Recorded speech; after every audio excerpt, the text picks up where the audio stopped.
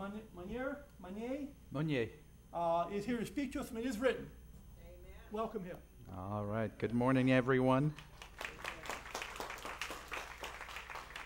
It is good to be here at the Central Church.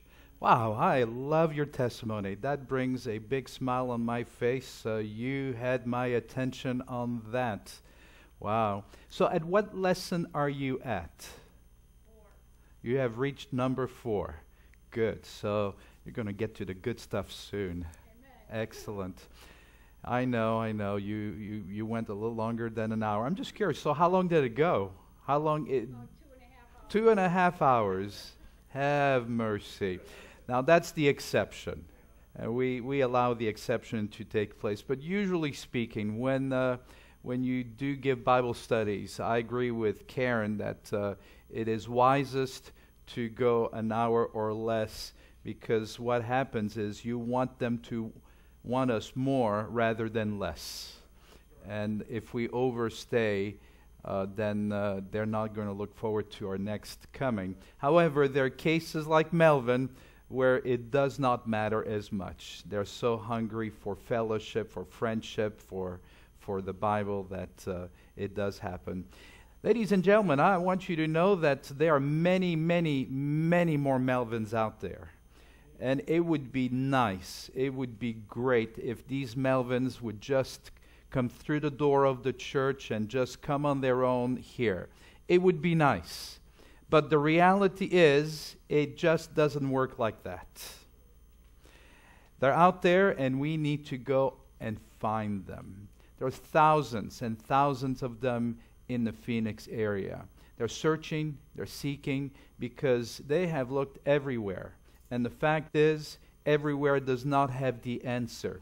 The answer is only found in one place, and that is in Jesus Christ. And so we must go out there, we must go into the street, and we must go to the neighborhoods, and we must go to the houses and find these people. So I'm very excited, Pastor, that uh, this church is going to be doing a mailing. Uh, a, a Bible study request card mailing in this community. And uh, I, I don't know what you anticipate, but our mega mailer, the one that you'll be using, uh, generally gets an average of about 10 per thousand responses. What that means is for every thousand that you mail out, about 10 people say, Yeah, I would be interested in Bible studies. And that's a wonderful thing. So when you go to this person's home, like Karen has taught you, I'm sure that uh, she has done a thorough job here. And if, if uh, she hasn't yet, she will. But essentially, it means you go to the home with the card that they have mailed in, and you go with lesson number one, and you're there to deliver it. And uh, most people will be like, Oh, I thought this was going to come by mail. That's usually the response you will get. And you will say, You know, I'm the local It Is Written representative. What are you? Okay, I just want to make sure the local It Is Written representative.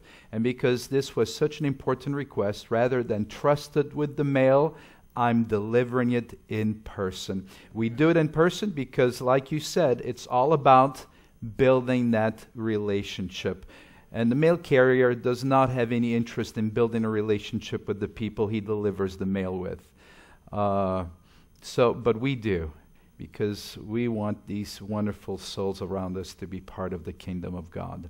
So I, I, I am excited that you're going to be doing this, this mailing, and I think that God will bless. And I look forward, Pastor, to some of the responses, uh, some of the results that, uh, that you will have. So, my name is Yves Monnier, and as you see it in the bulletin, that is a very, very, very strange name in the United States. And that's because my country of origin is not the United States. You might have picked up a slight accent. I've tried very hard to lose it, but it just won't leave. So I'm stuck with it. My mother tongue is French. And that's why I have a very, very French name. And that's because my home country is none other than, of course, not. not France. My dear sister here, of course, knows where I'm from originally. You know, there's other countries besides France that do speak French. Of course, you could go to Canada, or you could go to Belgium, or you could go to Luxembourg, or you could even go to some countries in Africa where French is also uh, their official language. But I'm from Europe. You can tell that I'm probably not from Africa. And my home country is actually a country where they have three uh, official languages, and that is Switzerland. Switzerland. In Switzerland, they, uh, in part of Switzerland, the majority of Swiss speak uh, German. Then there's a small section where they speak Italian, and I come from the part of Switzerland where they speak French and that's, uh, that's uh, near the city of Geneva, if you've ever heard of Geneva. Now, if my parents had known that uh, we were going to move to the United States when, uh, when I was born, they probably would not have called me Yves because, well, for obvious reasons. I'm sure they would have called me Miles. No question. No question. That's what they would have called me. And so now, for the last, uh, um, you know, i have been a pastor for over 30 years, but for the last eight years, I've been working with a ministry called It Is Written. And uh, as you might have heard a rumor, It Is Written is uh, partnering with uh, the churches in Phoenix, many of the churches in Phoenix, including the Central Church. And we're excited to be your partners in this journey, a journey which will culminate in a big series of meetings with Pastor John Bradshaw. And where will this series of meetings be? I'm just testing your, your knowledge here. I'm, I actually, I'm not testing your knowledge, I'm testing your pastor. Because, uh, because the knowledge you have about what's coming comes from your pastor. So, where's this series going to be held? Oh, you're getting an A plus at the Mesa Convention Center, and it starts on September 27. Now, September 27, 2019 feels like it's so far, far away. Well, it's only eight months away. And believe me, just like 2018 went by like that, we'll be on September 27 before you know it. And so it's important that we roll our sleeves because a, a harvest, because this is what this is going to be, a good harvest of souls only happens when you sow and when you cultivate. Have you ever tried to harvest a garden where you planted nothing? You will be disappointed. I guarantee you. But you harvest where you have planted your tomatoes, and you harvest where you planted your, your other vegetables your harvest where you have put some work into it. And that's the same thing that we're talking about. We're going to have a nice harvest in eight months. But uh, it all depends on us being used by the Holy Spirit. And I can tell that uh, the work has started here and more good things are going to take place.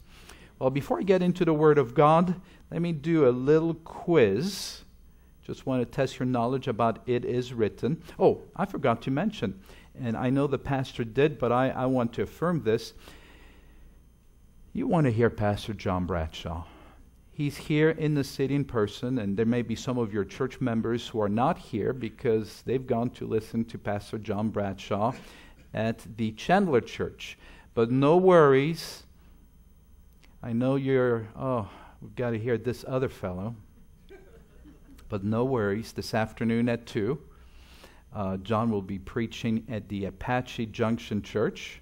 I know that's quite a ways. How far is that from here? 28 miles. 40, 48 miles. All right. Well, I better finish quickly if you're going to make it there in time. I've got to go over there as well. John is, uh, is you know, part of the team, so I'll show up when I can. But no worries, a, a bit closer than Apache Junction. So let me recommend that one for sure at Mesa Palms. I think that's, uh, that's a bit closer, right? Oh, come on. It's got to be closer. I looked at the map.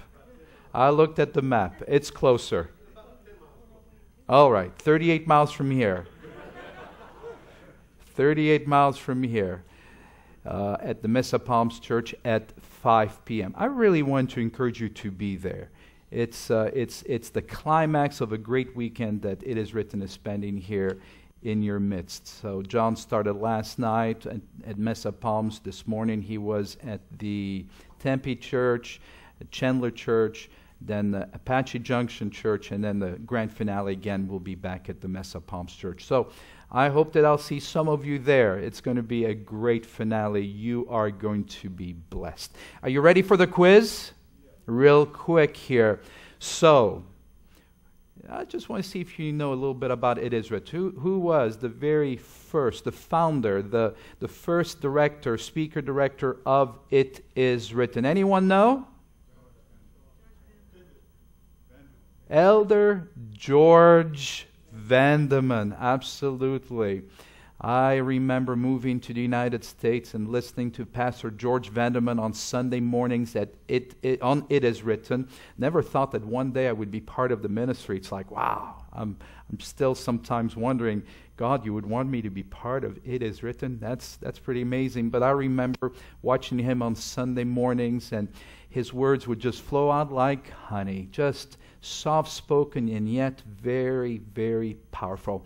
This was an easy question, though. Let me ask a, a, a second question. Uh, in what year was It Is Written founded? Mmm. Mmm. Making you think a little bit. Okay, I haven't heard the right year. I heard 1960s. No. 48. No. Maybe go in between. Ah, Pastor Miles Reiner. Pastor Reiner is really, really close. Very hot. 1950. He said 55. Six. Good job. So this year we are celebrating our 63rd anniversary. And, uh, and uh, it's, uh, it's, we're glad to be doing this anniversary with, with you here in Phoenix. Anyway, let's bow our heads for prayer and then we'll go right into the Word of God. Father God, we thank you for this beautiful Sabbath here in Phoenix. And like has been already prayed and requested, just continue to fill us with your sweet, wonderful Spirit. And I pray that the few words I will share will not be my own, but will be yours, and they will touch our hearts. In the name of Jesus, amen. I should have asked you one more question. I, I, should have asked you one more question. And I will do it now, and that will get me going here. It doesn't take much to get me going.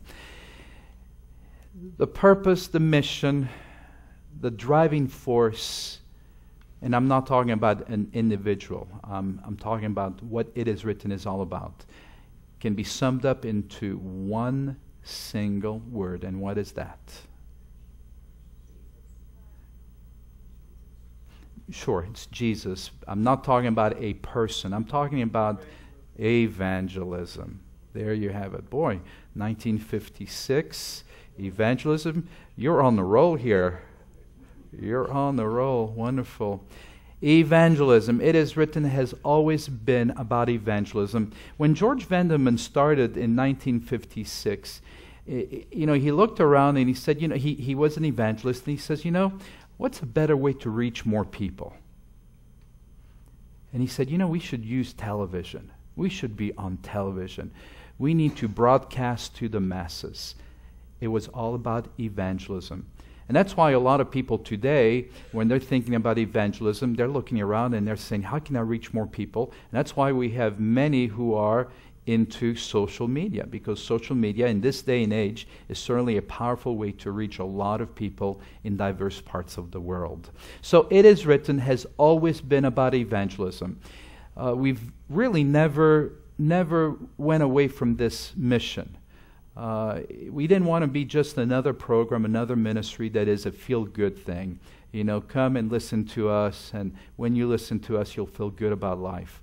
Uh, we, we want people to be connected to Jesus Christ and to discover that Jesus has a clear will for your life. Now, people will sometimes ask, Why are you so driven by evangelism? Why always evangelism? Can't you do something else besides evangelism? You know, here you're coming to Phoenix and you're all about evangelism. Why, why, why? Well, the answer is actually pretty simple. Uh, it's because uh, Jesus told us to, to do evangelism. And that should be a good enough reason to just do it, right? However, I've discovered a long time ago that to do something just because someone tells us sometimes cannot be satisfying. It's like me telling my children, eat your broccoli. And they would ask why. And I would answer, as any good father would answer, I would tell them, because I said so. And fathers and mothers, isn't that a good reason why our children should do what we tell them to do? However, we know very well that when we are not looking and when they grow up and leave the house, uh, are they going to keep eating broccoli? Probably not. So you want them to eat broccoli or you want your children to do certain things, not just simply because daddy said so, but because it's something they have internalized in their lives and truly believe. So, yeah, I could say we do evangelism because Jesus said so, but I, I hope and I think it's, it's because of something. Oh, let me get my computer to collaborate here. I hope it's, it's more than that. Every time I'm, uh, I travel back to my home country of Switzerland, I go visit a cemetery. And on a very specific tombstone in that cemetery is what I believe the answer to why we do evangelism is found. Now, before I, I tell you about what is written on that tombstone, let me tell you who's buried right underneath that tombstone. And I think you probably will guess who it is. It would be my parents, my mom and dad. My mom and dad were, you know, someone has referred to their generation, uh, if, if, you, if you can recall as the greatest generation of all. You know, that's the generation that lived through World War II, and, uh, and these were people, and some of you might be part, are part of that generation. They uh, survived the war, the Great War in Europe, and uh, as committed Seventh day Adventist Christians, they accepted the call to be missionaries. Now, let me tell you about my parents and and the Lord's work. Where He called, they would go. No questions asked. If He calls us, we're going to go. And when they arrive, that's when they would begin to ask the questions. I don't know if you've noticed, but things are a little bit different these days. When someone is asked to serve in a spe- specific capacity, there's a flurry of questions ahead of time. Uh, or they will say, I need to pray about it, which essentially also means this is code name for we need to look at the housing costs and we need to look at the cost of living where we're called to serve. Uh, we, we, we need to do some research, make sure that it's the right thing for our family. So, a lot of questions have happen before anything happens. Not my parents. Not a lot of people in that in that generation. If God calls, we trust Him, He will provide. And they just would march on. And when they retired, do you think they really retired from the Lord's work? Are you kidding me? I'll just give you a little glimpse into my mother. 92, she passed at, at 92 and about 10 days short of her 93rd birthday but well into her 90s, uh, she was still making her phone calls. This was evangelism to her. Friday afternoon, Friday afternoon, she would sit on her uh, La-Z-Boy and she had her phone right next to her. This was an old fashioned phone. This was one that is still connected to the wall. I know we, we, you know, kids today have no idea what I could be talking about. What? A phone connected to the wall? What on earth is that? All we know is a phone that goes with us wherever we go. So she would lift the, the, the, the handset there and, and put it to her ear, and then she would push the buttons, and she had her list of people she would call, one after another. And these people were people that she ministered to. Now, she could not walk well and drive well, but boy, she was still very sharp and she could talk very well with a little accent, of course, French accent. And she would call these dear people and encourage them and, and pray with them and, and, and minister to them. And also, she would remind them, and don't forget to come to church tomorrow. I hope to see you.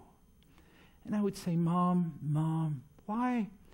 Why do you make these phone calls? You don't have to anymore. You can just relax. And she says, No, no, this is this is my ministry.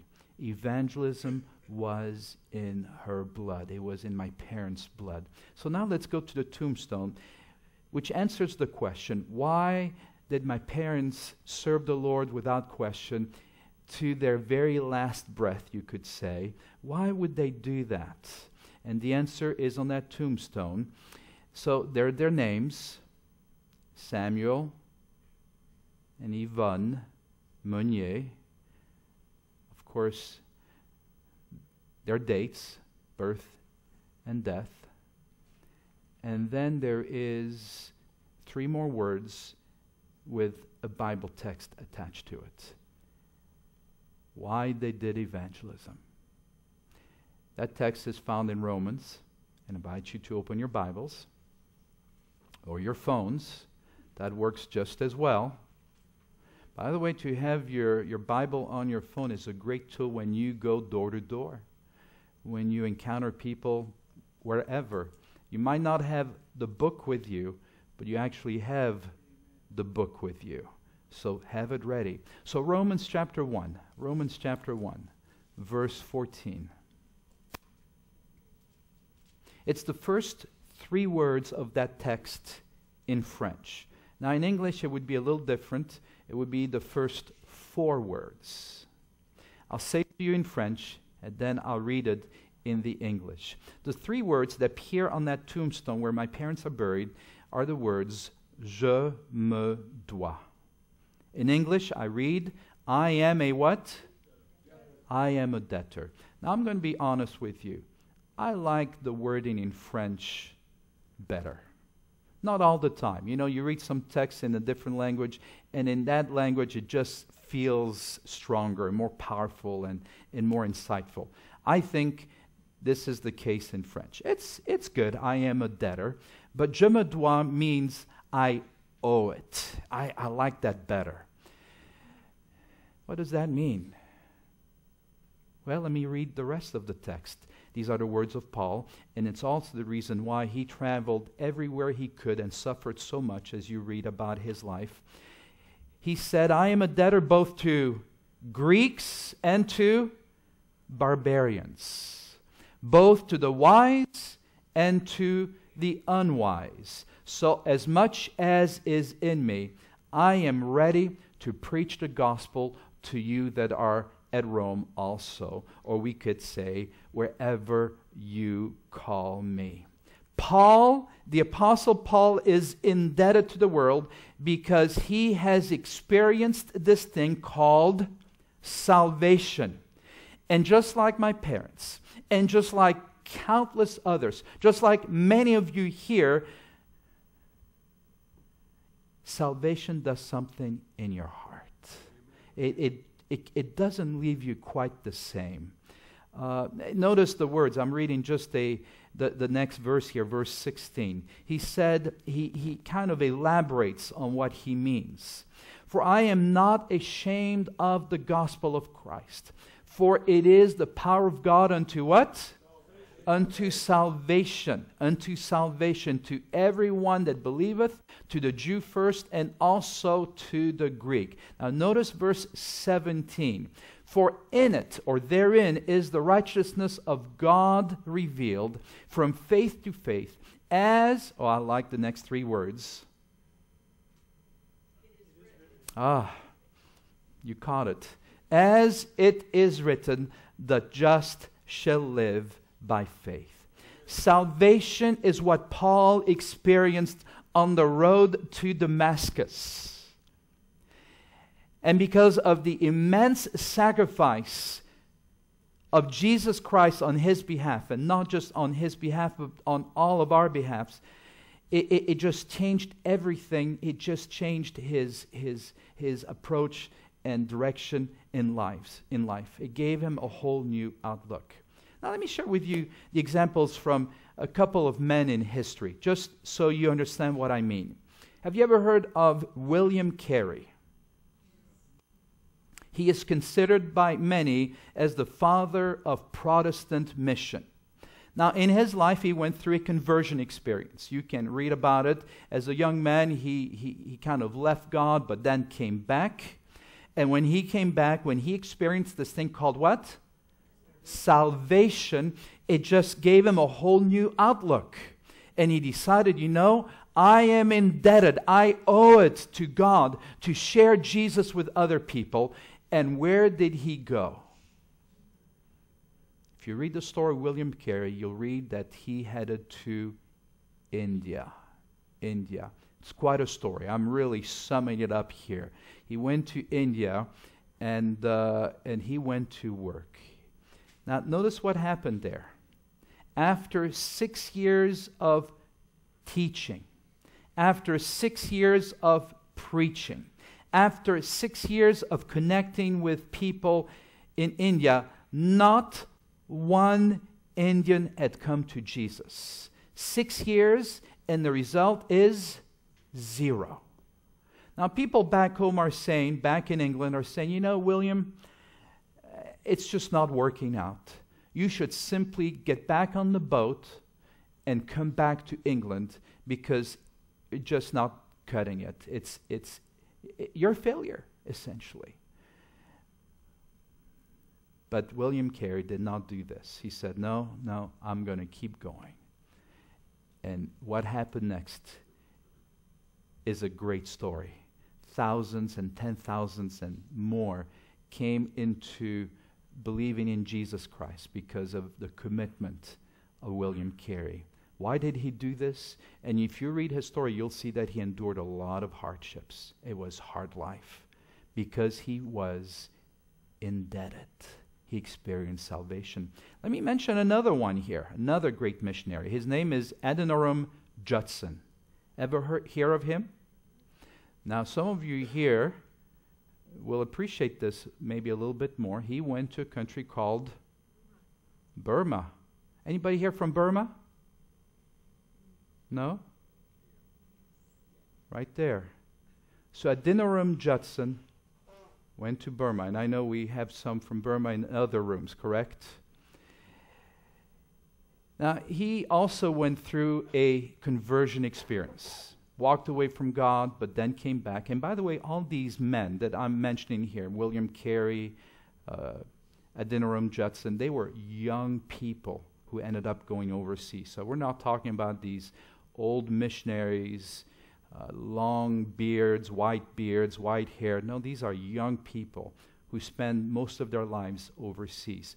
So, after a conversion experience where he experienced the same thing as as William Carey, and that is salvation. I am indebted. I have to share Jesus. He originally wanted to go where, where William Carey was. He wanted to go to India, but the doors closed, and so he looked around and he ended up in Burma. Now, listen to this. This might surprise you. During his four decades in Burma, how many decades? How many years? 40 years. Judson led around, listen carefully, led around 25, you finish, 25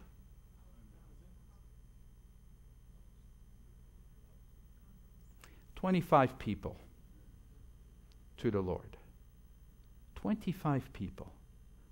No, I, you know, when I, I read this and I'm saying 25, 40 years, you would have expected, you know, 2,500 maybe, 25,000, but 25, that's all, 25. And, and, and when I read a little bit more of the story, it said here perhaps only 10 of these displayed a real living faith in Christ. So even of the 25, not all of those were really committed. But it's after he died that the work really took off, the work that he started.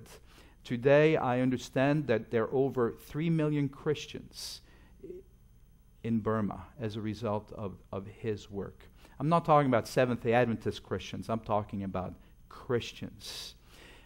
All of this because he felt indebted, because he had experienced salvation. Have you experienced salvation? We begin to really experience salvation when we realize how big of trouble we're in. You know, and sometimes preachers and others fail to point that out.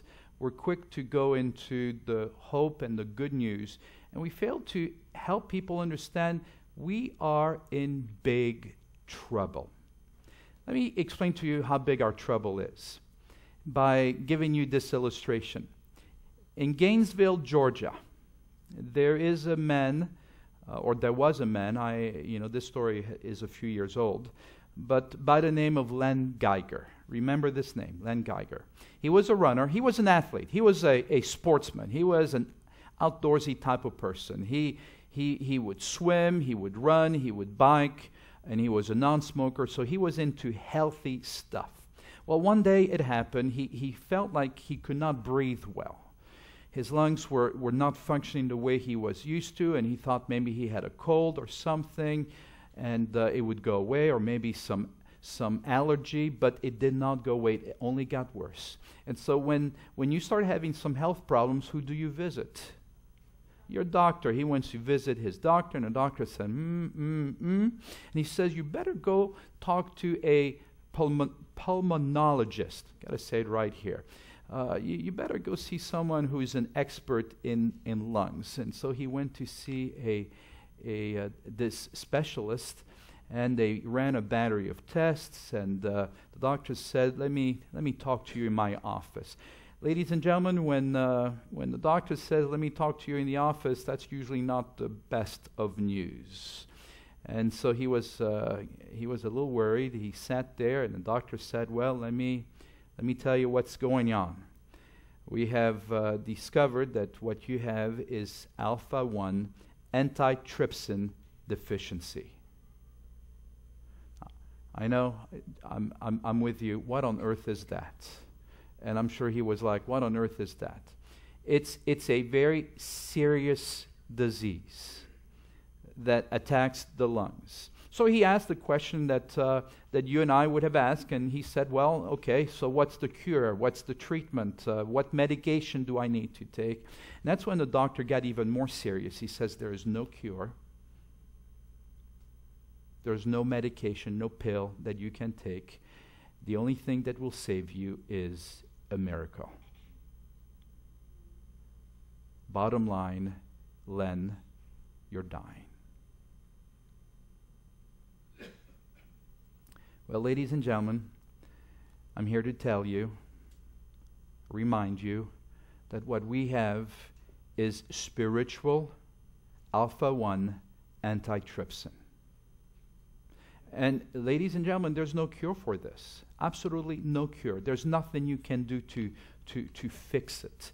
Uh, you can't wake up in the morning and say, Today, and th- by the way, th- this, this, this condition is called sin. Okay, sin. But today, I'm not going to sin. And we probably have all tried that. Today, I am not going to have any bad thoughts. Today, I'm going to keep my mind pure. Today, when I'm driving, I will not allow any stinking driver. Oh, uh, I slept already.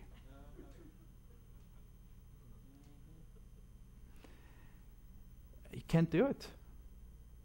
You can't do it. We're sinners. And and it's, it's, it's pretty serious because the Bible tells us that uh, the wages of sin is what? Is death. And it's not just death as the end of life, not death like this brother who just passed away this morning. That's the end of life. We're talking about death as in the eternal death, the, the death from which there is no resurrection at all. So we can all agree here we have a very, very serious problem. And the only solution to our sin condition is a miracle. A miracle, just like what Len Geiger was hoping for his life. And there was a miracle. I am glad to tell you, and you know it well, the King of the universe, King of all galaxies. Look up tonight. I know it's hard to look up and see how far the, the sky goes in the city because the city is so bright. But you drive out a little bit ways into the desert where it's dark, really dark, and you look up. I live in a place that is a little bit more like that, and and I walk in the, at night sometimes, and I look up, and it's just like so awesome, so phenomenal. You look at the starry skies, it has no end. Our Lord is the King of all galaxies. And this great King of ours, this here is the miracle. You know, we hear about miracles on earth all the time, but the greatest miracle of all, bar none, is Jesus Christ, the King of Kings, the Lord of Lords, coming to planet Earth for 33 years, living as a humble man who was so despised by others. It, it just, every time I think about this, it just blows my mind away that he was willing to become nothing for our sake. You know, think about this. So many people around us, when they reach a certain status, they want everyone to know, I have reached a certain status. You know what I'm talking about. They, they walk a certain way and they talk a certain way, and, and they want everyone to know, no, no, I'm, I'm, uh, I'm doctor.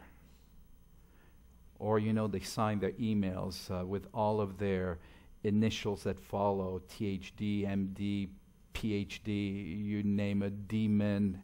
You uh, know, it's, it's, it's a message. You know, I am, I am someone. And yet, the one who really was someone is someone, came and became no one. Think about that. He came to this planet of ours. What did he do? 1 John chapter 1 verse 7. I like how you do this here. You're so quick. Thank you, brother. 1 John chapter 1 verse 7. I'm just going to wait on you. You've got it here. There we go. It's coming. It's coming. There it is. Oh, there it is. But if we walk in the light as he is in the light, we have fellowship one with another. But here's the part I want to emphasize and the blood of Jesus Christ, his son, cleanseth us from all sin. So Jesus Christ lived a perfect life for 33 years. And then finally, at the end, he paid the price because the wages of sin is death. So he died our death. He, he died the second death. And the blood that he shed, what does it do? It cleanses us from all sin. Now, I don't know if you've ever stopped to think about what it means, all sin. Have you ever done that? I, I did this just for the fun of it. I, I, kind of did some calculations here, and I'll give you some numbers. And so bear with me. If you're not into numbers, I ask your forgiveness. I'm not really into numbers, but uh, I was just too curious.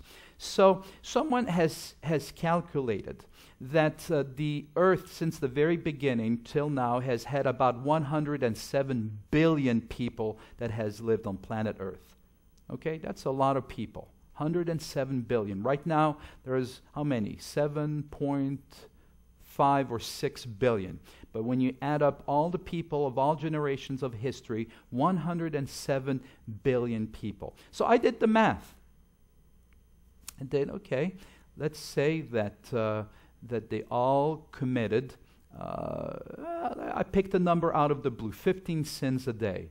And some of you may say, well, that's too many for me. Or some of you may say, well, that's not enough. So, but let's go along with 15 sins a day. And let's say that the life expectancy, I came up with a 55 year life expectancy. I know in the United States it's far higher today, but when you count all history, you know that in older his, in times, uh, the life expectancy was a bit less, quite a bit less. So I just came up with 55 years. So I did all the math. I multiplied, da da da da. And would you believe, here's the number that I came up in terms of how many sins that would add up. Are you ready? 30 quadrillion sins. 30 quadrillion sins. Now, if you're wondering what, what that stands for, it's three, 30 with 15 zeros behind it. Is that a lot of sins? Let's go back to our text. I, I, I, like that text. Let's just linger there, my friend.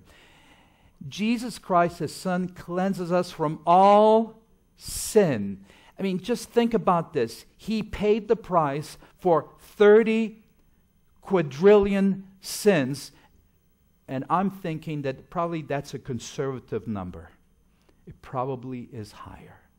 Now, let me make this a little bit more personal because, you know, that's a general statement about, about planet Earth. What about you? What about me? How much do we contribute? So let's follow the same principle 15 sins per day. We probably sin more than we realize. Some of you are saying, wow, uh, no, not me. But let's go along with it. Just bear with me. So let's say an ordinary person, life expectancy, I checked it, for the United States is about 79 years. 79, 80. Uh, that's 28,835 days, 15 sins a day, so you do the multiplication. So that would add up for a lifetime of 432,525 sins. 432,525 sins. That's what we potentially contribute to the 30 quadrillion. Now, I want you to really think about this. You know, sometimes we, we just think about sin in general, but that's, that's a big load. And the blood of Jesus Christ, his son, cleanses us from all sin. His blood, His sacrifice, cleanses us from uh, excuse me, 432,525 sins. Praise the Lord. Hallelujah. When, when, when Jesus comes into our lives, his blood cleanses us of, of all these sins. And when the Father looks at us, he does not see all those sins, but he sees Jesus Christ. I, I really like what uh, the prophet Micah says. Uh, and I think you'll appreciate it. Micah chapter 7, verse 19, it tells us that our sins will go where? Do you remember that text? Our sins go in a very specific place. Goes into the depths of the sea. I don't know if you've ever looked at a documentary that talks about the fish not the ones near the top, but the ones at the bottom, because there are fish way down there. If you ever Google, I, I encourage you, if you ever do a little search, maybe not now, but later on, Google fish deep sea. I mean, we're talking way down there. And uh, they've been able to send some cameras down there and, and, and take some photos. Have mercy, they would say in the South. Have mercy. Those fish are the ugliest things that you have could ever look at. I mean, we're talking downright scary. You're thinking, you could be thinking they come from a horror movie. They're so ugly and so scary looking. Just horrible. I have a theory about why they look so bad.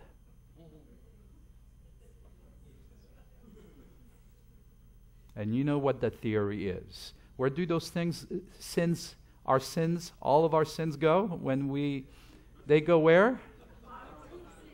They go to the depths of the sea. And, uh, you know, no wonder those poor fish look so ugly. That's what sin does. I, I think the best way to, to, to illustrate to describe the miracle of Jesus Christ cleansing us from all sin. That miracle, I think, is best summed up by Ellen White in the book Desire of Ages. Is it okay to read the Desire of Ages here? Page 25, it's a, it's a text you've, you've, you've heard. It says, Christ was treated as we deserve, that we might be treated as he deserves. He was condemned for our sins in which he had no share, that we might be justified by his righteousness, in which he had no share. He suffered the death which was ours, that we might receive the life which was his. With his stripes we are healed. Brothers and sisters, that is the description of this awesome miracle. This awesome miracle, salvation. Now, let me, let me finish with a, a powerful article I read a few years ago, written by a uh, sports writer. Sports writers, they write about football, and they, especially these days, and they write about, about baseball. That's coming soon here, too. Phoenix, I know, is a mecca of baseball in the spring. And they write about basketball and all sorts of things.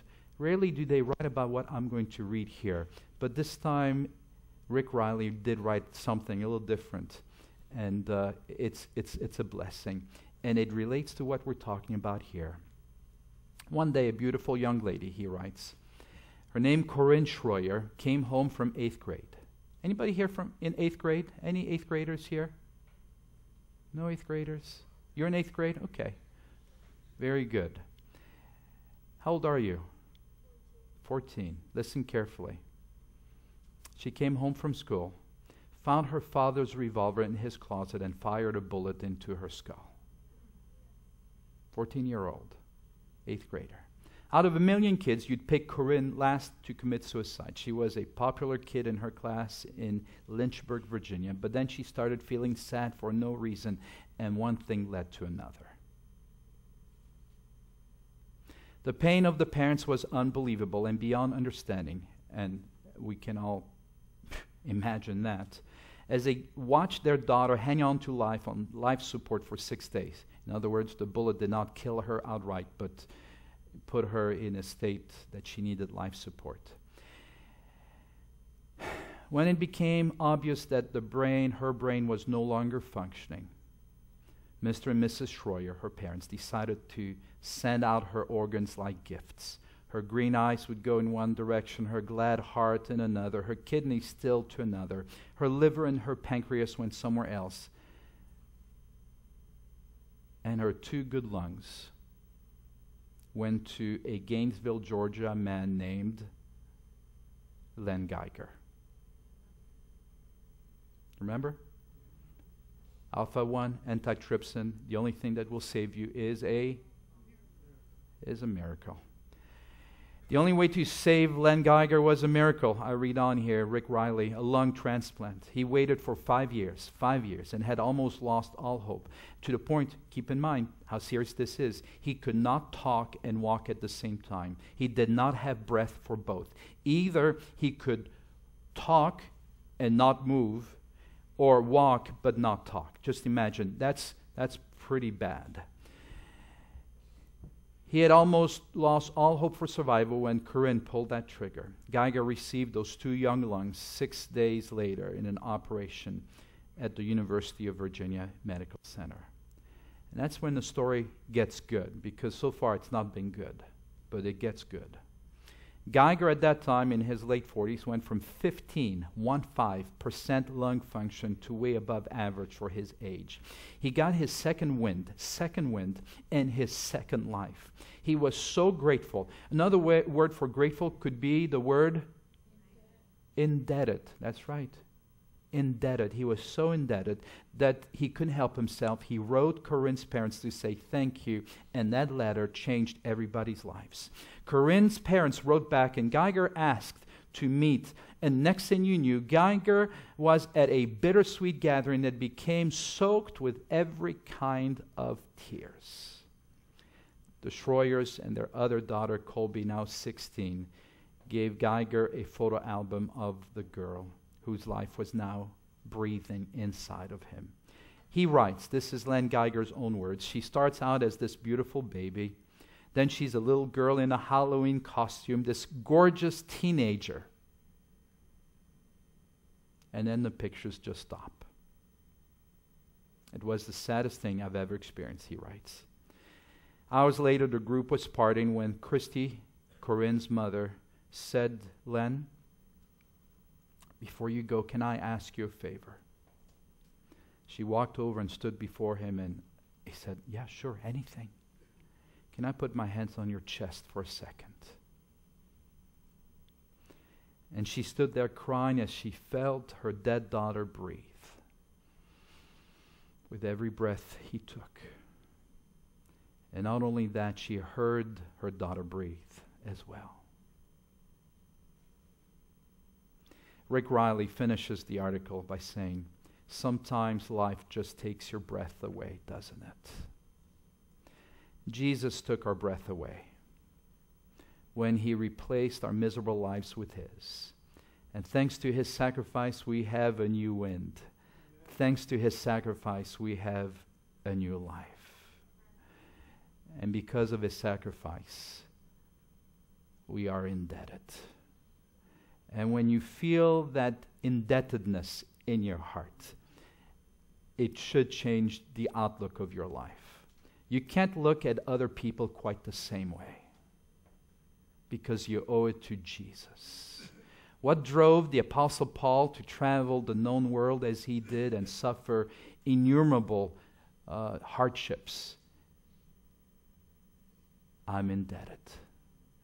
Why did my parents go wherever they were called and to their last breath were thinking about other people?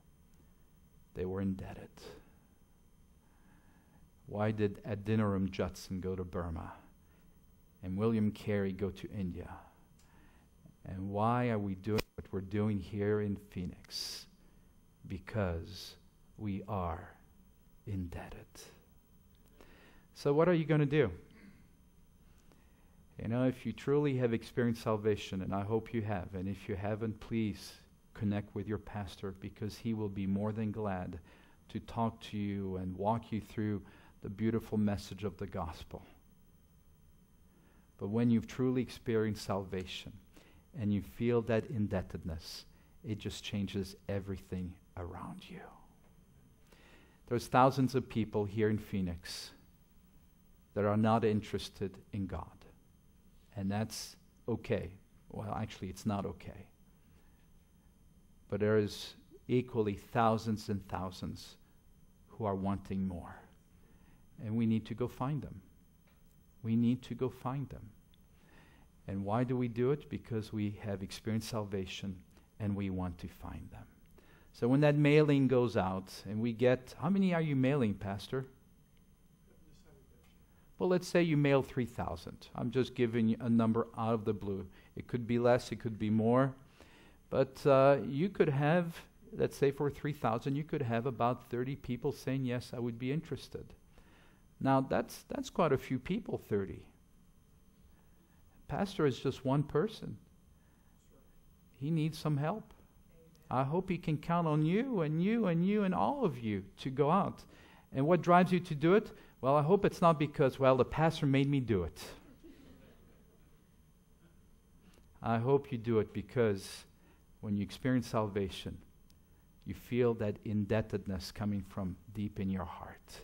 Thank you, Jesus. I must do, I must do what you have called me to do. I look forward to what God is going to do in our midst here.